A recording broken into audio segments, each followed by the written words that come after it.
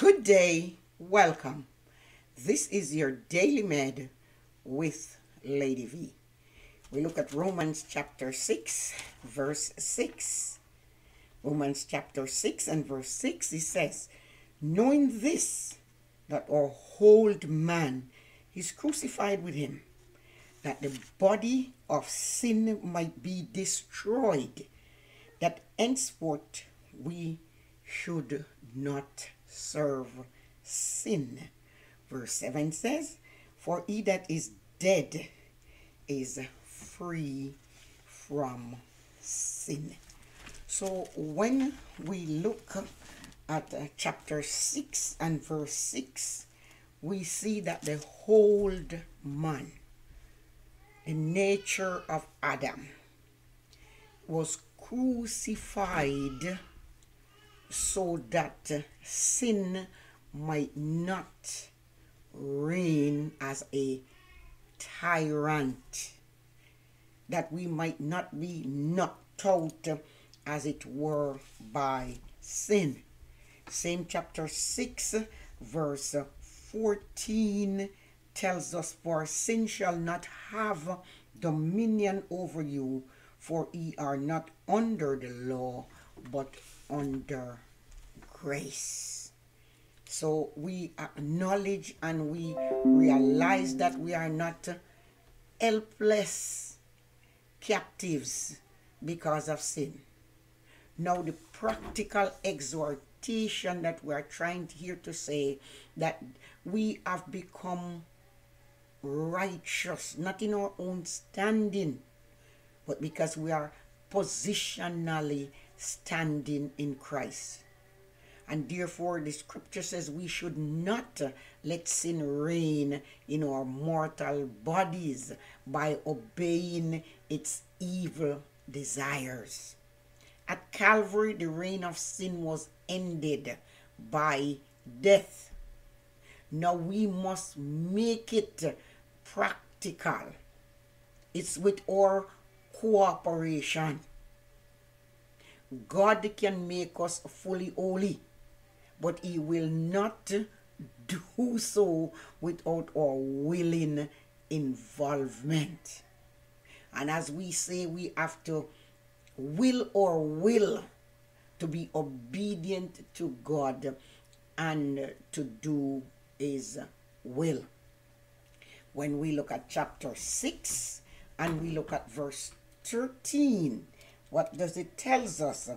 It says, Neither yield ye your members as instruments of unrighteousness unto sin, but yield yourselves unto God as those that are alive from the dead, and your members as instruments of righteousness unto God. So here we are saying it brings us to what? The present. He says we must not present our members or our bodies to commit sin to be used as weapons or tools of wickedness. Our obligation is to turn the control of our members or our lives over to God to be used in the cause of righteousness.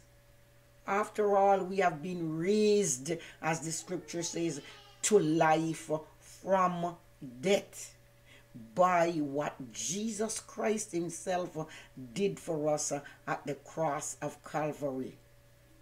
In chapter 6 and verse 4, the Bible says we should walk in newness of life.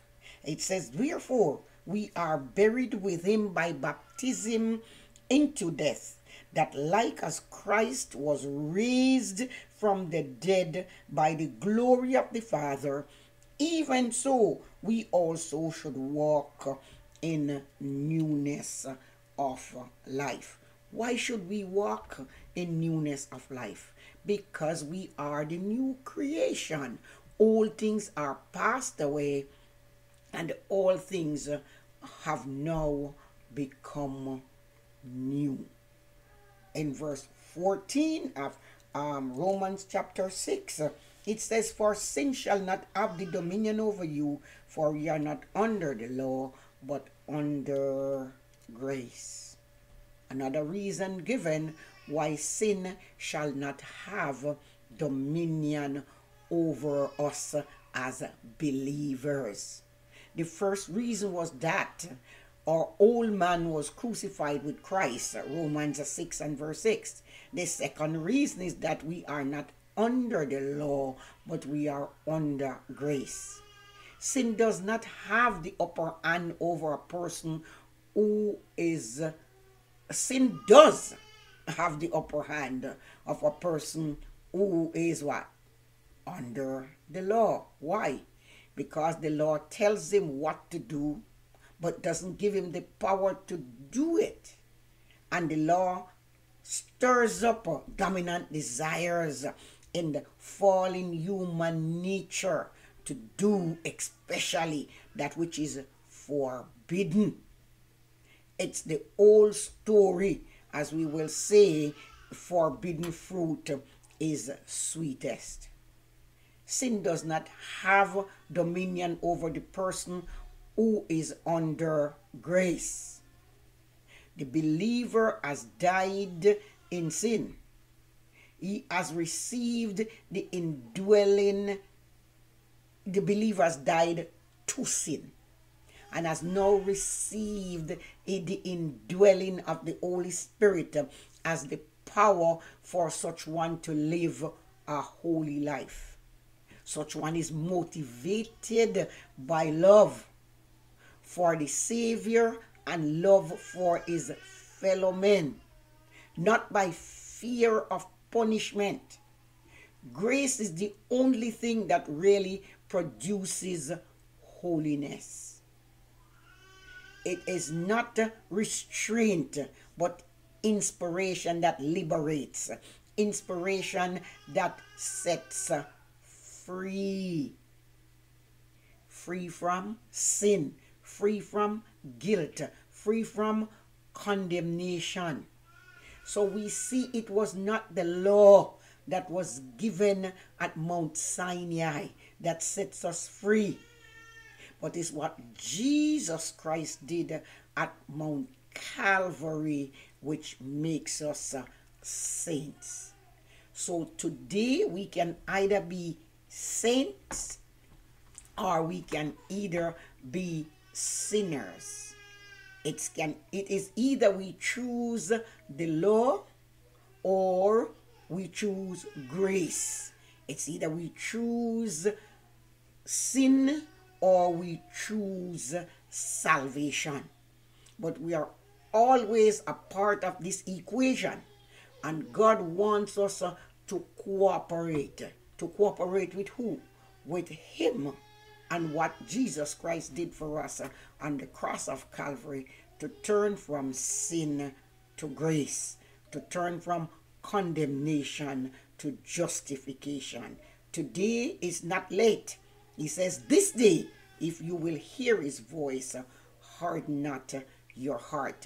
And salvation is still at your disposal.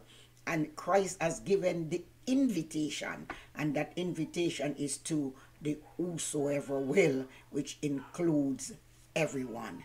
God bless you.